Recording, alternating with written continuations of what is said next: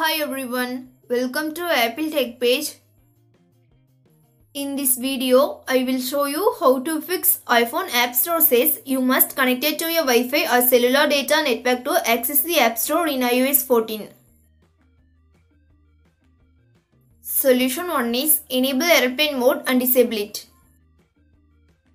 To do this, go to control center and turn on airplane mode, then wait for a few seconds and turn off it. Solution 2 is turn on App Store under cellular data. Go to settings app. Find and tap on cellular or mobile data. Scroll down to find App Store. Make sure that it's turned on. If it's off, you cannot access the App Store when cellular data is turned on. Solution 3 is restart your iPhone. To do this, go to Settings app. Scroll down and tap on General.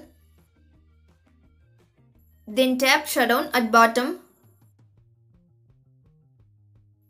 Now turn off your iPhone by dragging the slide to power off slider to right side. Once you turned off, wait for few seconds and turn it on back.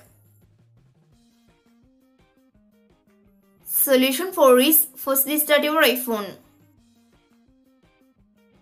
If you are using iPhone 8, 10, 11 and 12 series and iPhone SE second generation, then do the following steps to force restart.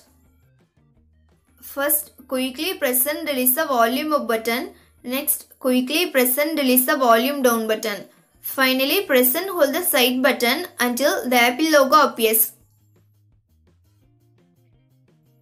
If you are using iPhone 7 and 7 Plus, then do the following steps to force restart.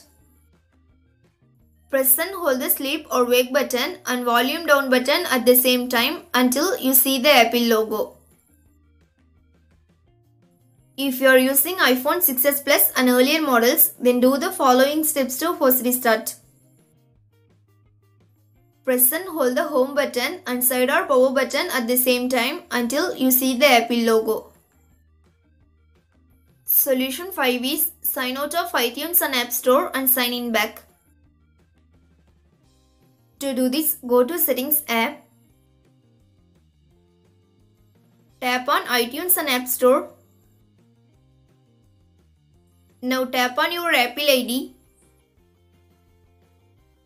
Then tap Sign Out in the pop-up window. Once you signed out, wait for a minute and sign in back to iTunes and App Store. Solution 6 is Erase all content and settings. This process wipe out your all data from your iPhone. Before starting this process, backup your device. To factory reset your iPhone, launch Settings app.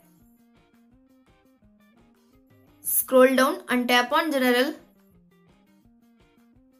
Then tap Reset at bottom. Now tap on Erase all content and settings. If you did a backup already, tap Erase now. Next, enter your iPhone's passcode. In the pop-up window, tap Erase iPhone to confirm this process. Once the process is done, set up your iPhone as new. Thanks for watching this video. Do like, share and subscribe to Apple TechPage.